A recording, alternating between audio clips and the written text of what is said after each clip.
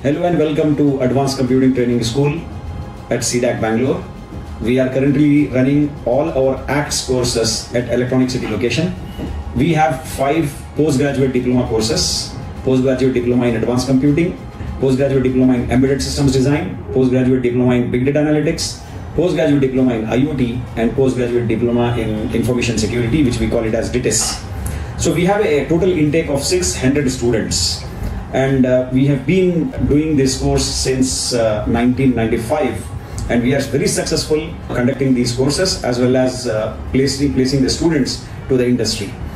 Uh, we are NSQF level 8 certified. NSQF is National Skills Qualification Framework, level 8 qualified. I request you to please come to CDAC Bangalore at our Electronic City location to please see our infrastructure and utilize it and upskill yourself for better future and better career prospects.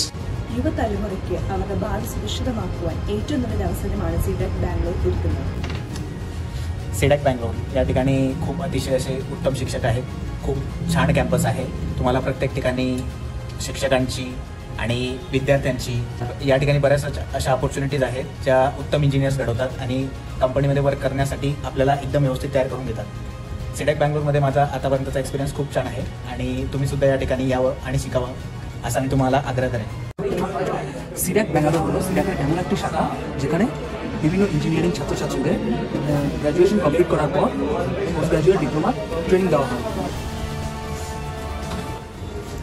सीटेक Bengaluru is real time project experience और यहाँ पे सबसे अच्छी बात यह है कि यहाँ पे टीचर बहुत ही फ्रेंडली और सब सोल्यूशन बहुत आसानी से और इजी वे में पढ़ाया जाता है If you think you are late for your career, then come to CDAC Bangalore.